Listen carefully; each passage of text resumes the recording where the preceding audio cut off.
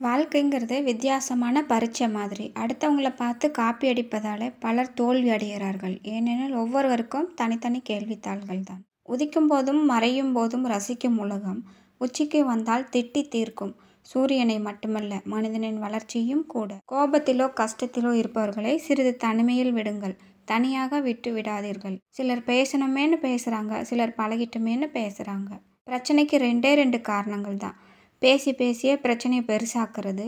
ஒருத்தருக்கு ஒருத்தர் பேசாமையே இருந்து பிரச்சனையை பெருசாக்குறது. எந்த உறவாக இருந்தாலும் ஒன்று கண்ணாடி மாதிரி இருக்கணும்.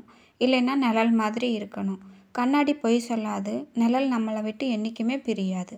எனக்கு அப்போவே தெரியும் இப்படித்தான் நடக்கும் அப்படின்னு சொல்கிறவங்க யாரும் அப்போவே சொல்ல மாட்டாங்க. ஏன்னா பலரும் இங்கே சுயநலவாதிகள் தான்.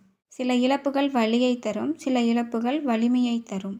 ஒவ்வொரு ஆணின் வெற்றிக்கு பின்னும் ஒரு பெண் இருப்பாள். ஆனால் ஒரு பெண்ணின் வெற்றிக்கு பின் பல அவமானங்கள் தான் இருக்கும். கடைசி நிமிடத்தில் கூட பொறுமையும் தைரியமும் நிதானமும் இருந்தால் எவ்வளவு பெரிய கஷ்டத்தையும் கடந்து விடலாம். நீ எல்லாம் எனக்கு சமமானவனா? என்று கேட்பவர்களிடம் இல்லை நான் உனக்கு சமமானவன் அல்ல.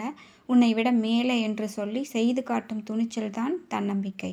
ஆயுதம் ஏந்திய மனிதன் ஆபத்தை ஏற்படுத்தும் விலங்கு ஓடும் ஆறு அரச குடும்பத்தில் பிறந்தவர்கள். இவர்களை ஒரு நாளும் நம்பக்கூடாது.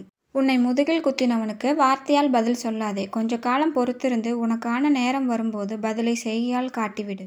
சொன்னால் மட்டும் என்ன புரியவா போகிறது என்று சிலர் தங்கள் கஷ்டங்களை சொல்லாமலே இருந்து விடுகின்றனர். தனியாக இருக்கிறோமே என்று வருத்தப்படாதீர்கள். ஜோடியாக இருக்கும் லவ் பேர்ட்ஸ் என்றுமே கூண்டில் தான் நடைபெற்றிருக்கும் தனியாக இருக்கும் கழுகு எப்பொழுதும் வானத்திலே சுதந்திரமாக பறந்து கொண்டிருக்கும்.